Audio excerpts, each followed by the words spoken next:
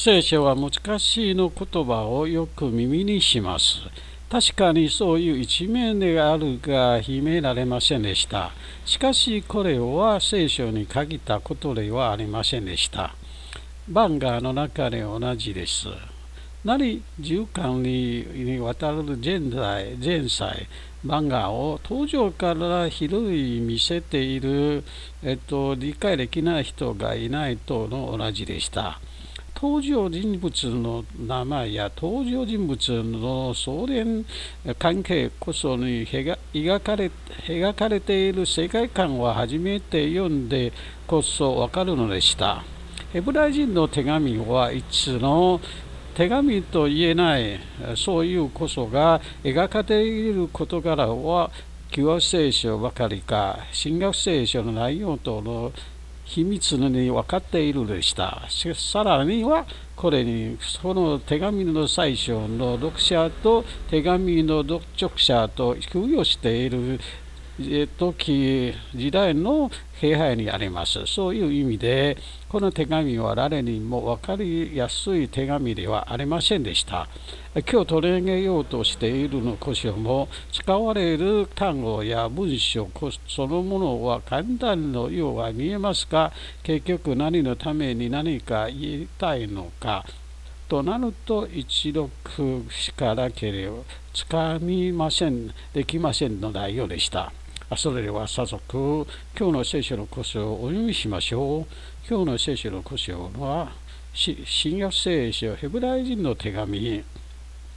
えっと、2章5節から10節までです。新教の聖書でお読みいたします。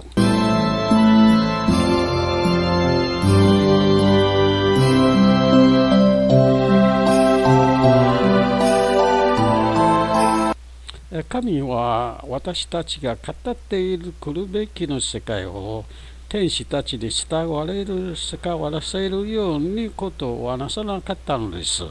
あの場所で次のように語って限りしかかしています。あなたが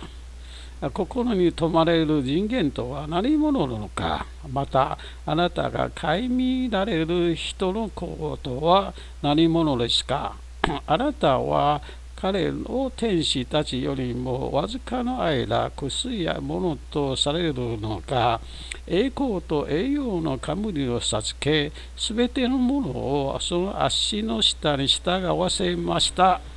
すべてのものを彼らに従わせられたと言われた言われている以上この方に従わなかったものは残っていないはずでした。しかしあなたはいざ今だに全てのものがこの方に従っている様子を見えませんでした。ただ天使たちよりもわずかの間低いものとされるイエスが死の苦しみにゆえに栄光と栄養の神を授けられたのを見ています。神の見え恵みによって全ての人のために死んでくださったのというのは多くの子らを栄光へと導くために彼らの薬の創始者を数々の苦しみを通して完全なものとされる万物の目標である源であるお方にふさわしいことであったからでした。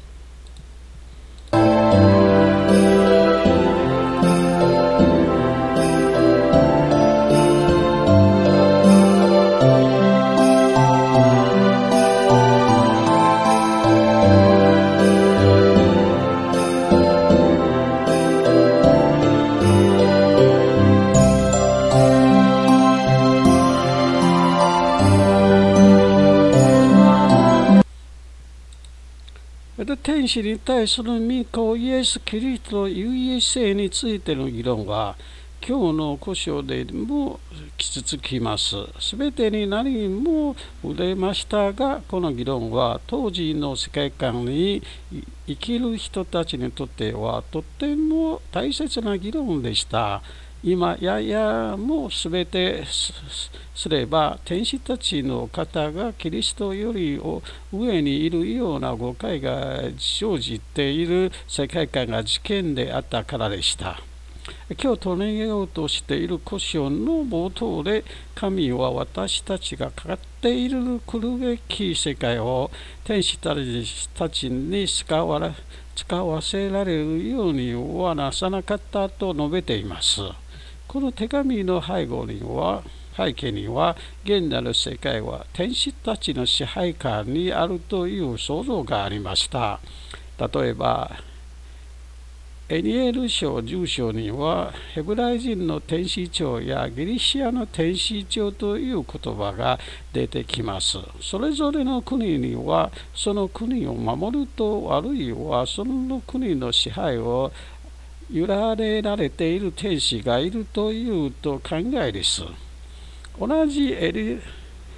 エニエル書の住所には、お前たちの天使長、ミカエルという表現が出てきますから、先民であるイスラエルは天使長ミカエルの保護のもとにあるということです。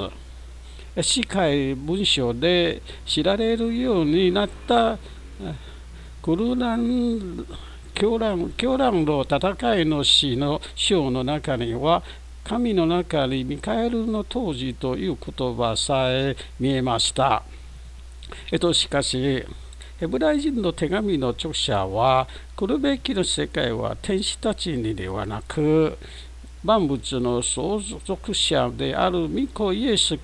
キリストの当時のもとに置かれる教えでした。ところで、エブライ人への戸紙が語る来るべき世界とはどのような世界を語っているでしょうか。これは、新学聖書全体が語る来るべきようについて考えるときに重要でした。イエス・キリストが自身がガラリア宣教の始め時は道神の国に誓いましたと宣言してします。その活動の中で、あなたが神の私たち私が神の霊で悪霊を追い出しているのであれば、神の国にはあなたたちのとこに来るいるのだとおっしゃっていました。また、新約聖書では詩人の中からよみがえる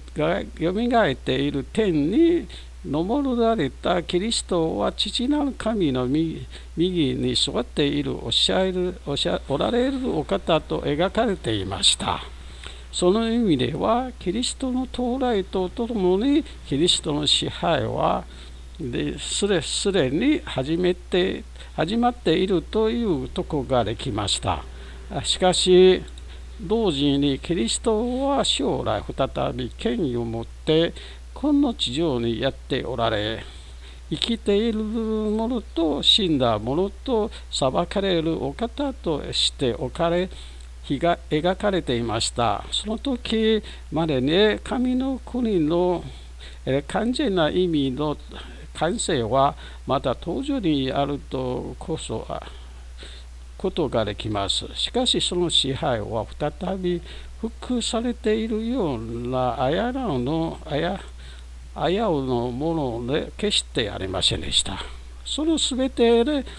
そのすでにまだとの間に生きている私たちにとっては、キリストの支配を、現実を感じることは難しいかもしれません。そういうあればこそ、この手紙の著者は正直に語っています。しかしあなた、私たちは今に全てのものにこのお方に従っている様子様子を見ていませんでした。えー、ところで語る話が前後していますが来るべき世界を巫女の支配のもとに置かれたというついてこの言葉の著者はえーと、詩編8編から引用しているこそこのことが神の身群れであることを明かしていました。えー、あなたが心に泊まられる人間とは何者か。またあなた帰りまれる帰りになれる人間の人のことは何のですか。あなたは彼を天使よりもわずかの間低いとされるのか。栄光と栄養の冠を授けすべてのものをその足の足の下に従われました。足辺八辺が本来語っているのは御子イエス・キリストについてではなく人間についてあるのことは白明でした。明確でした。しかししかしその手紙の著者はそのそこに記されている人の子という言葉キワンドとしてこの御子イエス・キリストに適用しています。確かに新しい新約聖書の中で人の子といえばイエス・キリストご自身がご自身を指して使いと言葉でした。愛見強引に見える適用でしますが最初のアラムが罪のゆえに万物を正しく収めることができなかったに対し最後のアラムであるキリストに支援の言葉を聖樹を見たということはとても意味深いことでした。というもののヘブライ人への手紙の中で常に薬主であるキリストは人間とは何関わらにも超人的な存在ではなく薬者たちを兄弟と呼ぶ彼と同じように血と肉を備えた。罪は犯された犯されなかったがあらゆる点で私たちと同様に試練に合わせたとお方として置かれて今描かれているのですからね。そういう意味でキリストのは最後のアラムと呼ぶことにふさわしいお方でこのお方においてこそ四辺八辺は急遽究極の聖樹を迎えました。しかもわずかの間低いのものと間がされたのが栄光と栄養の冠を授けたと語ることのこの支援にキリスト十字架のクランと復活の出来事を重ね合わせています。多くのこの子らを栄光へと導く導くために彼の薬の創死者を数々の苦しみを通して完全なものとされる万物の目標である源であるお方でした。ふさわしいことであった。と結論しています。クランを通して栄光に預かるメシアこそふさわしいメシアの姿であると考えるのはヘブライ人への手紙ばかりではありませんでした。そもそも復活のキリストイエスご自身が弟子たちに聖書を解き交わすながらこう語っていました。あ万物分かり悪く心が鈍く預言者たちの言ったことを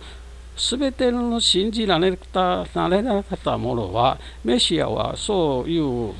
えー、苦しみを授け受けて栄光に入るはずだったのではないか。キリストの受けたクランはキリストの権威を損なうところが栄光に入るためにふさわしい出来事となったのでした。そうしてそれを罪を犯した人々の贖いにとって書くことのできない薬の見業だったのでした。